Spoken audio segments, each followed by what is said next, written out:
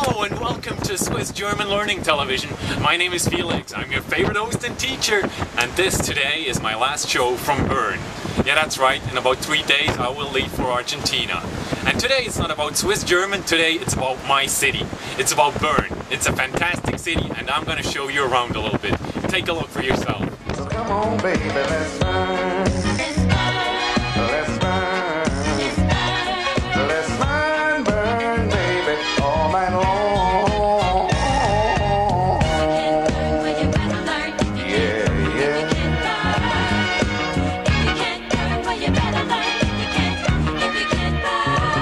Start to burn, you don't wanna stop. You wanna keep on burning.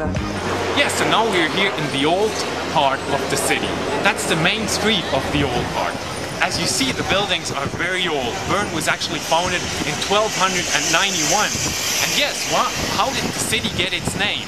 Well, actually, the founder decided that he'd go for a hunt, and the first animal he'd shoot would give the city its name. And what did he shoot?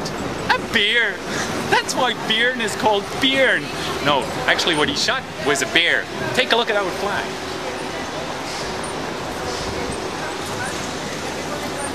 Yes, as you see, there is a bear on our flag, and that's why that's the flag of Bern.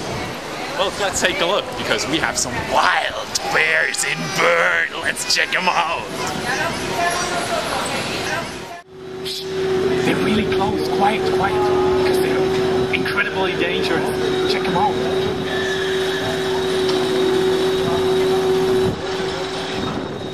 Well, no, that's not them. Let's check out the real ones. And here we are now for real. Check out the real bears. And what we do in Bern is feed them. I like to go with the London tube. I like to fly in a plane. I like to ride on a camel's back, watch a bullfight down in Spain. But one thing I am sure about whenever I return, there's nothing I like more in the world than the bank robin in Bern. Well, one for him, one for me. Now you saw the birds, but since then a lot of things changed. Yeah, there was globalization and you know industrialization, a lot of things. But Bern became a very imperialistic canton. We actually have 25 colonies and we hang their flags here in our street. That's actually our favorite colony, you see right there. Isn't that great? Yeah, you see, you learned something again. Okay, let's continue our journey.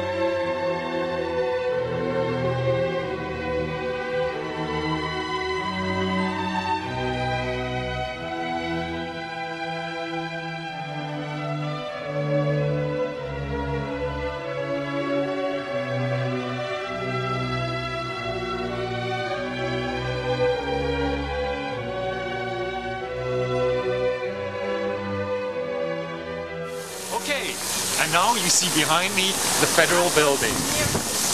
This is where our federal parliament actually is in and has their discussions about Switzerland's future. Yeah, that's right. That was it for Swiss German Learning Television. It's my last show from Switzerland. I'm a little sad. But hey, what can I say? Looking forward to the future in Argentina.